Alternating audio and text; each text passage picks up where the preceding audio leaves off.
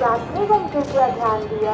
गाड़ी संख्या एक, तीन, एक, आठ छः गंगा सागर एक्सप्रेस जे जयनगर सौचलिका दरभंगा, समस्तीपुर, बरौनी प्रयागराज लखनऊ सोलह बाईस पैंतीस पर प्लेटफॉर्म संख्या तीन पर प्रस्थान करें। राजनगर, मधुबनी में एक ऐतिहासिक स्थान। राजनगर, मधुबनी में एक और गाँव है, जहाँ दरभंगा के राज ने अपना एक केंद्र स्थापित किया। राजा रामेश्वर सिंह की अवधि के दौरान कई सुंदर इमारतों और मंदिरों का निर्माण किया गया था। हालाँकि 1934 के भूकंप में अधिकांश इमारतें नष्ट हो गईं, लेकिन अब भी अवशेष देखने लायक है। राजनगर मधुबनी शहर से 15 किलोमीटर की दूरी पर स्थित है। यहाँ के प्रसिद्ध मंदिर, दुर्गा मंदिर, काली मंदिर, कामाख्या मंदिर, नौलखा मंदिर, शिव मंदिर, गिरजा मंदिर हैं। इन सभी मंदिरों का निर्माण महाराजा रामेश्वर सिंह ने अपने बड़े भाई महाराजा लक्ष्मेश्वर सिंह की मृत्यु के बाद करवाया था। राजनगर, कुरहिया और भौवरगढ़ की संपत्ति को उनके बड़े भाई महाराजा लक्ष्मेश्वर सिंह ने कुमार रामेश्वर सिंह को दान कर दिया था। महाराजा लक्ष्मेश्वर सिंह की मृत्यु के बाद उनके छोटे भाई कुमार रामेश्वर सिंह महाराजा बन गए और सारी संपत्ति उन्हें राज में निहित हो गई। मिथिला पर प्राचीन, कई प्राचीन राजवंशों जैसे जनक, मौर्य, गुप्त, हर्ष और पाल का शासन था। ननब देव ने तिरहुत पर कब्जा कर लिया और कर्नाटों के राजवंश की स्थापना की।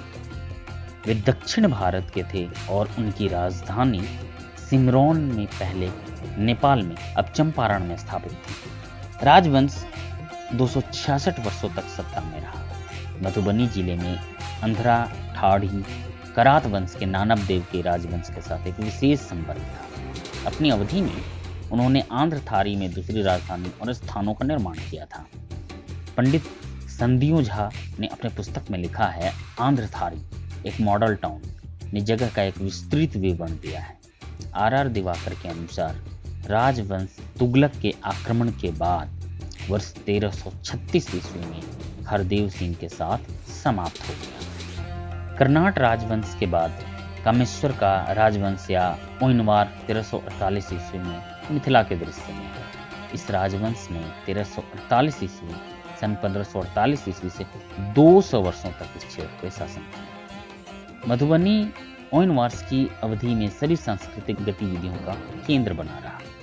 महाकवि विद्यापति ठाकुर महाराजा सिंह सिंह के दरबार से जुड़े थे। विलेजी बिस्वे, जो अब मधुबनी में ब्लॉक प्रमुख हैं को विद्यापति ठाकुर को महाराज शिव सिंह ने उनकी शिक्षा और ज्ञान के लिए मान्यता दी थी।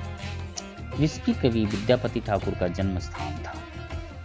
सभी में उनवारों के वंश में नौ राजा थे, जिन्होंने दिल्ली के सुल्तानों के आधिपत्य के तहत 200 साल तक शासन किया। दिल्ली के सुल्तान ने कभी भी हिंदू प्रमुखों को परेशान नहीं किया। आंतरिक प्रशासन जब तक की समय में श्रद्धांजलि दी गई। हामी शमसुद्दीन इलियास के काल में बंगाल के राजा उनवारों ने अपनी राजधानी को शमसुद्दीनपुर अब समस्तीपुर हो गई है से राजनगर के पास मधुबनी में सगुना में स्थानांतरित कर दिया था। ओनवरस मैथिल ब्राह्मण थे। सागुना ज़िले के ओनवारों के सभी राजाओं की राजधानी रहा मधुबनी। ओनवारों के पतन के बाद खंडवाला का वंश पंद्रह सौ ईस्वी में सामने आया और उन्नीस सौ बावन तक बना रहा, जब जमींदार बिहार राज्य में रहते थे। सोलहवीं शताब्दी में महाभारत के सम्राट अकबर भारत में सीखने से बहुत प्रभावित थे। रघुनंदन रॉय गाँव रामपुर के एक मैथिल ब्राह्मण परगना गौर अंचल पंडौल जिला मधुबनी की उन्होंने पंडित रॉय की उपाधि और तिरहुत के राज्य को वर्ष 1550 ईस्वी में पुरस्कृत किया।